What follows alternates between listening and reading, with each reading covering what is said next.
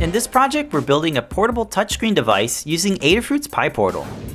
We designed a case to fit all the electronics so you can make a portable IoT project. Use Adafruit CircuitPython libraries and demo code to get started. The Open Weather Map API can be used to create a custom weather station. Check out the Learn Guide for documentation and CAD files.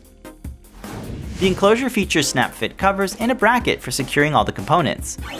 Get the parts to build this project, links are in the description. Secure the PCBs to the 3D printed case with machine screws. The back cover snap fits and features a spot for a bigger speaker. There's also a nice cutout for the microSD card slot. You can use a toggle switch to power the device on and off. You can also recharge the LiPo battery over USB. The faceplates can be swapped out so you can build a custom keypad. Thanks so much for watching. Be sure to subscribe for more projects from Adafruit.